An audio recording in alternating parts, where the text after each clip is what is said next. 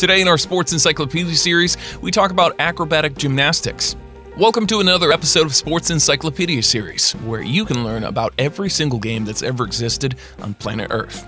Acrobatic gymnastics is a sport based on gymnastics that requires a team of gymnastics to work together to perform acrobatic moves in combination with dance moves to form various figures. Now, let's talk about how to perform acrobatic gymnastics. The target in acrobatic gymnastics is to perform the following routines with perfection 1. Balance, 2. Dynamic, and 3. Combined. In balance routine, athletes are supposed to stay static in certain formations, for example, towers or pyramids, for a specific time set of duration.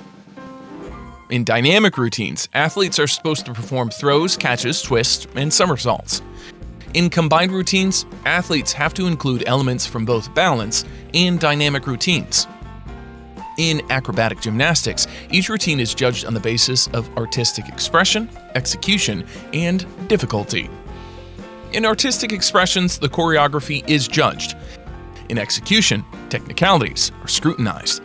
In difficulty, the degree of complication in moves is assessed.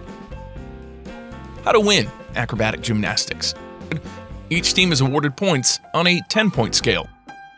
The team with the most points in all three routines combined wins the game. Friends, this is an overview of acrobatic gymnastics. However, if you'd like to learn more about the rules of acrobatic gymnastics in detail, make sure that you check out our video on acrobatic gymnastics rules. If you like the video, hit the like button and don't forget to subscribe to our YouTube channel.